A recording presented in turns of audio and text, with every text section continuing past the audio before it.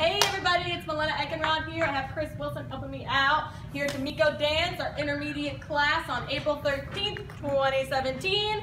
Let's show you what we did, then we'll break it down, then we'll show you again. So from the top, we started with a hustle whip.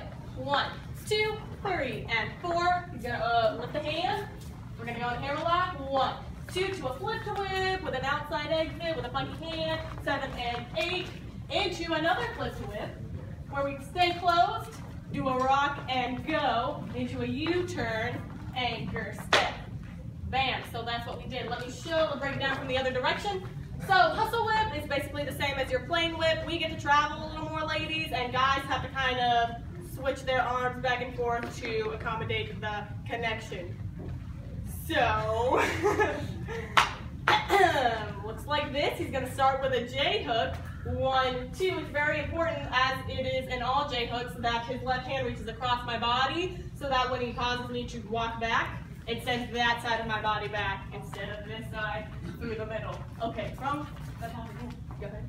One, two, three, and four. He's gonna lift the hand. He's gonna float it around. So this is very slow for me. Five, six, seven, and eight. Just because we have this weird handhold doesn't prevent you from doing your work around ladies. So be sure to still do that. Okay, from here, he's gonna prep us on two, sort of like a flip to whip. Well, it's flip to whip footwork for me. Um, we're gonna connect here with our arms. I'm gonna go through, we're gonna fold it behind, three and four. I'll show that from the other direction in a second. Two, and outside exit. So all he has to do is open up. It causes me to start to rotate. He's gonna swoop this hand down so that my arm straightens out faster so that he can lift it up to give me a double. So uh, let me show you from this direction, from hammerlock. So you can see this connection, go ahead. One, prep two, right here, these arms connect into this fold. Five, six, seven, and eight. Okay, back here. From here, we ended cross hand, we're gonna do a flip to whip. So one, prep, prep, prep two, the ladies about face.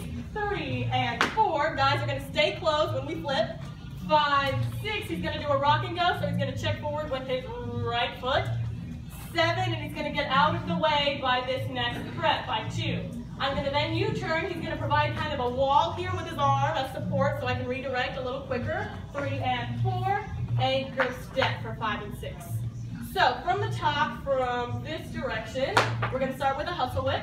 One, two, three, and four, five, six, seven, and eight, one, prep, two, three, and four, five, swoop, seven, and eight, one, flip, whip, three, and four, stay in close, rock and get out of the way, turn around, anchor, step. That's what we did. Thanks for watching. Give us a like, comment,